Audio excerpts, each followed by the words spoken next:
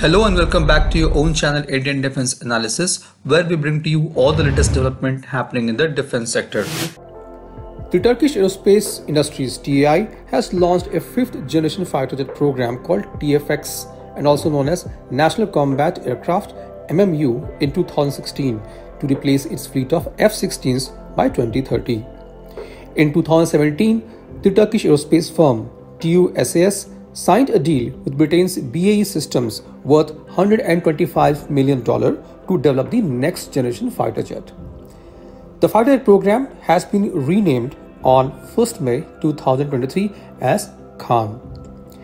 On 21st February 2024, KAAN took off from an airstrip in the capital Ankara for its maiden flight, which lasted just over 10 minutes.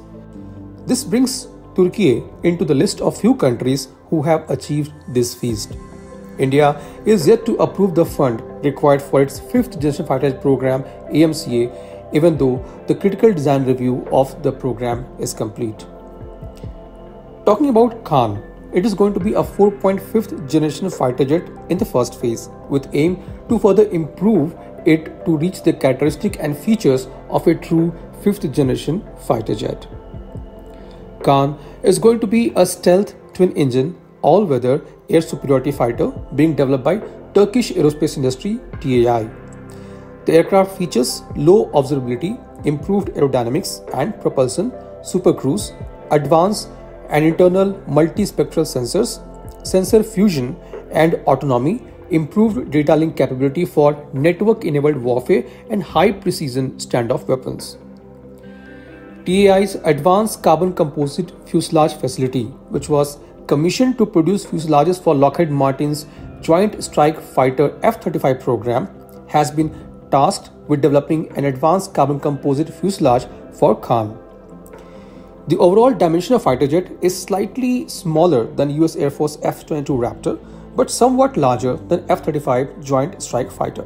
It has an overall length of 60 feet and a wingspan of 39 feet. The prototypes of KAAN will be equipped with General Electric F110 engines. It is planned to be powered by TAEC engine once it is ready. The TAEC engine is going to be jointly developed by Turkish Kale and British Rolls-Royce. The fighter jet will use gallium nitride based AESA radar which is under development. It will also feature an integrated electro-optical system.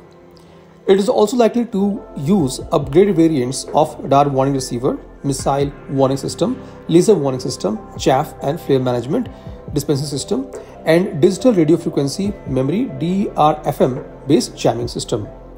The fighter jet has been designed to have maximum speed of Mach 2, combat range of 1100 kilometers, service ceiling of 55,000 feet, and G limit between plus 9G to minus 3.5G. This was today's update. Please let us know your views on this in comment section. If you like the video, do not forget to like, share and subscribe. With this, I would like to say goodbye and Jai Hind. We'll soon back with more interesting and amazing development happening in the defense sector.